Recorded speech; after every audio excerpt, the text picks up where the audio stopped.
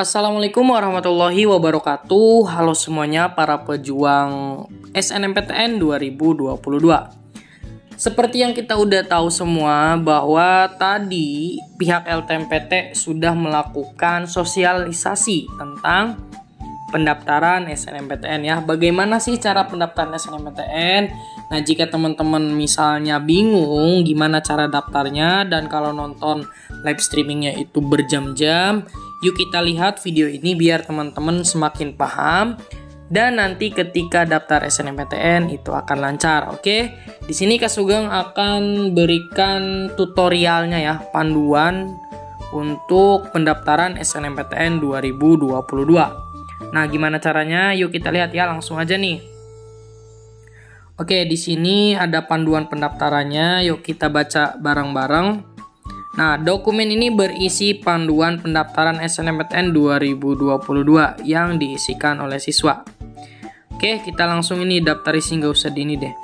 Nah, kita perbesar dulu. Nah, sebenarnya gini ya teman-teman, di pendahuluan teman-teman Nanti dokumen ini berisi panduan pendaftaran SNMPTN yang diisi oleh siswa. Nah, tahapannya login di portal LTMPT dengan menggunakan alamat email dan password yang telah didaftarkan kemarin ya. Jadi akun LTMPT silakan teman-teman login lagi.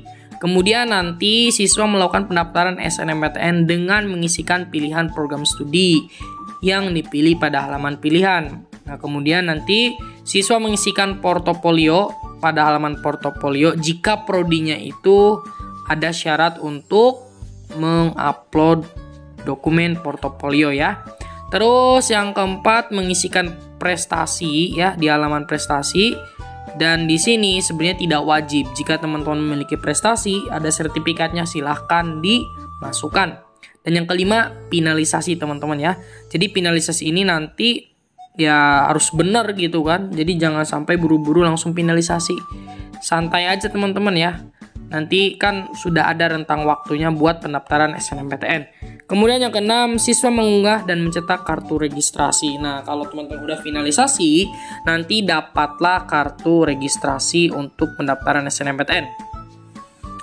Oke, langsung aja kita ke nomor 2. Di sini adalah login siswa, teman-teman. Seperti biasa ya, tampilannya kan kayak gini ya. Nah, nanti tampilannya kalau di HP kayak gini, tinggal masukkan email dan password yang kemarin sudah dibuat ya. Terus setelah teman-teman masuk di sana nanti ada apa? Betul sekali. Ada tampilan seperti halaman profil yang dijelaskan pada sebelumnya. Nah, di sini nanti jika Anda tidak memenuhi syarat untuk mendaftar SNMPTN, artinya teman-teman itu bukan siswa eligible, nanti ada tulisan, mohon maaf, Anda tidak berhak mengikuti SNMPTN. Nah, silahkan mengikuti SBMPTN 2022.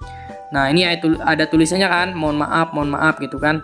Nah, kalau teman-teman memenuhi yang artinya teman-teman itu adalah siswa eligible, nanti akan ada data Anda belum permanen. Pastikan Anda sudah mempermanenkan akun LTMPT. Jadi teman-teman harus simpan permanen dulu ya. Terus teman-teman tinggal masuk ke profil. Nanti di sini ada biodata dari siswa sebenarnya.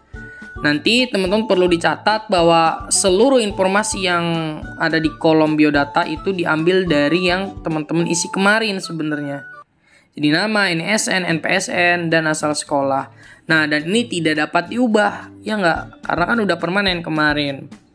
Nah, kolom data orang tua juga tidak perlu diisi karena mengambil informasi yang telah diisikan kemarin. Udah ya ini aman berarti ya.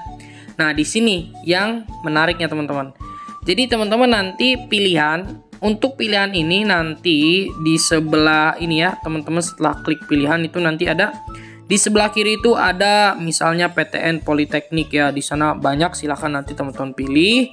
Kemudian setelah teman-teman klik nanti akan muncul daftar prodi yang dapat dipilih oleh siswa. Nah munculnya itu ini yang yang di sebelah kanan ya Nah, sudah lengkap banget ya di 2022 ini udah lengkap banget ada daya tampungnya jadi udah kelihatan ya. Daya tampungnya kelihatan, nanti teman-teman pilihan berapa gitu ya. Nah, udah enak banget nih. Nah, nanti akan ada apa? Ada yang hitam teman-teman ya. Jadi nanti ada beberapa program studi yang hitam itu artinya teman-teman tidak dapat memilih. Biasanya nanti ketika teman-teman SMK, kemudian di sini jurusannya yang tidak relevan dengan jurusan teman-teman, maka akan hitam kayak gini ya. Jangan panik aja sebenarnya. Udah ya. Jadi teman-teman nanti harus tahu itu. Setelah itu teman-teman Misalnya teman-teman dapat memilih dua program studi ya. Kemarin kan udah dijelasin, teman-teman bisa maksimal itu pilih dua prodi ya. Nah, jika memilih dua prodi, salah satu harus berada di provinsi yang sama dengan asal sekolah kan. Itu udah dijelasin waktu kemarin. Nah, silakan aja teman-teman sesuaikan. Nanti jika sudah misalnya pilih dua ya udah simpan semua pilihan. Setelah disimpan, udah tinggal simpan. Nah, sebenarnya nanti akan ada tulisan menghapus ya teman-teman misalnya saya maunya pilihan satu doang gitu pilihan duanya nanti bisa dihapus gitu ya nanti akan ada tombol itu kemudian jika teman-teman misalnya sudah tinggal klik simpan aja dan berhasil menyimpan pilihan silahkan mengisi portofolio atau prestasi. Nah untuk portofolio yang tadi udah dijelaskan jika teman-teman jurusannya itu seni dan juga olahraga yang mensyaratkan portofolio silahkan diupload. Ada formatnya silahkan diupload ya. Oke jika sudah nanti teman-teman tinggal ke ini portofolio ya nanti ada misalnya teman-teman prestasinya apa ini tapi portofolio dulu ya jadi silahkan diunggah aja nah ini untuk prestasi teman-teman ya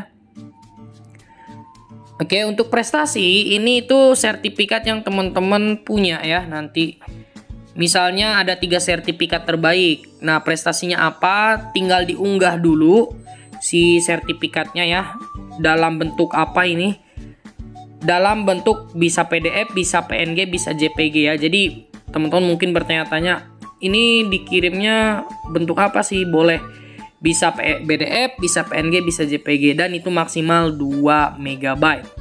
Kemudian setelah teman-teman upload, nanti teman-teman deskripsikan itu teh sertifikat apa sih juara satu atau juara dua gitulah ya. Jadi harus teman-teman deskripsikan. Nah misalnya ada tiga ya silakan teman-teman uploadnya tiga aja. Udah. Nah setelah itu nanti tuh ada tingkat prestasinya mau internasional, nasional silahkan teman-teman isi. Kemudian nanti teman-teman simpan. Nah setelah simpan udah beres. Tahap terakhir adalah finalisasi.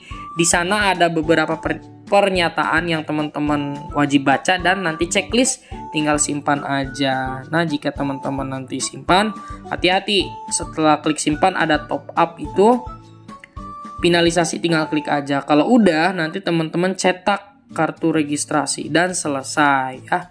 Tapi saya sarankan teman-teman jangan buru-buru ya untuk pendaftaran SNMPTN. Sekian dari video ini semoga bermanfaat. Jika teman-teman menyukai video ini silahkan like jika tidak suka silahkan dislike saya akhiri assalamualaikum warahmatullahi wabarakatuh